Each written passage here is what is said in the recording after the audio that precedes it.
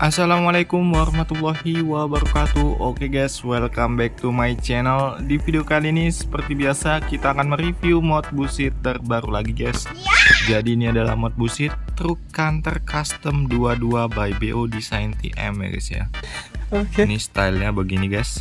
Oke langsung saya kita hidupkan dulu untuk mesinnya. Untuk suara mesinnya seperti ini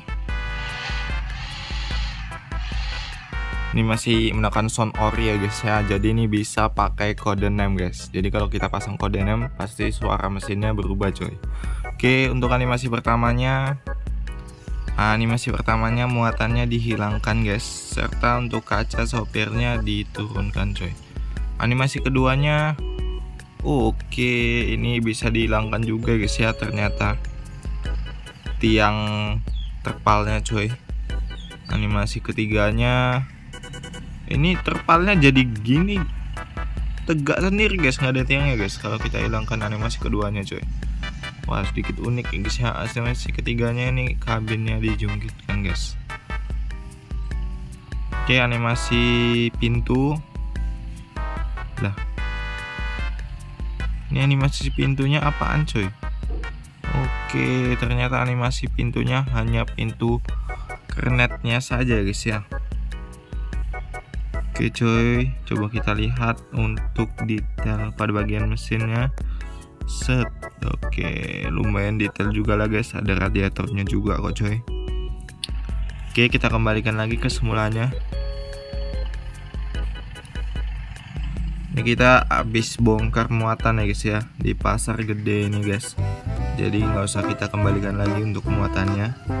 Ini pun sudah full aksesoris juga guys untuk modnya sudah melakukan wheel depan belakang. Ini yang model apaan ini guys? Wheel guys. Oke wheel dopnya ternyata hanya tutupnya nggak full ya guys ya. Wheel dopnya nggak full guys. Tapi saya lebih suka gini guys. Lebih minimalis aja guys ya.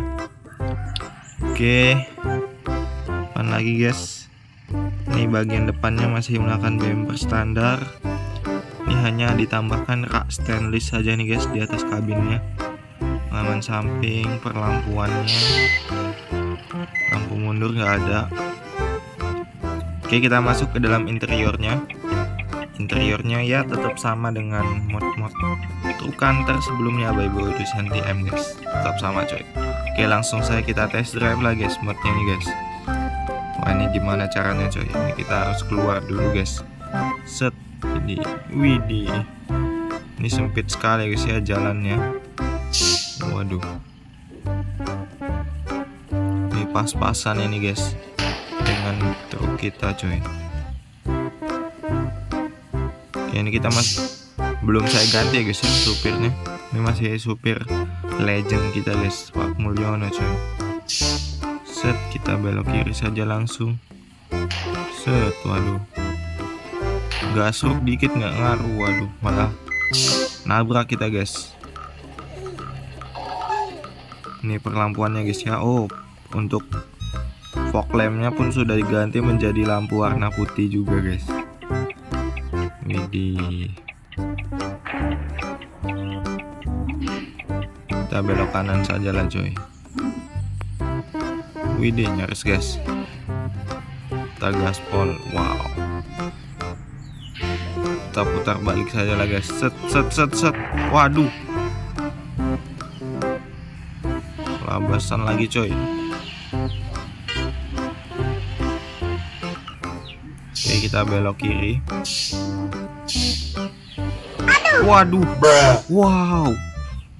Langsung penyok coy Widih ditabrak sama kontainer ya guys ya.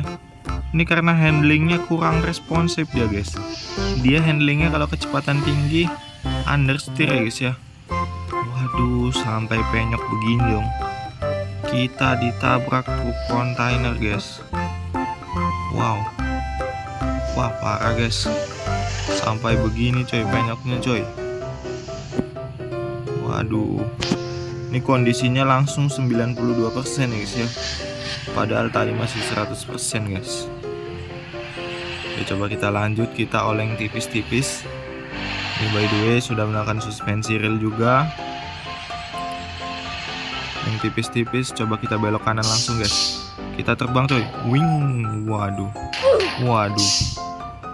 Nah break lagi guys.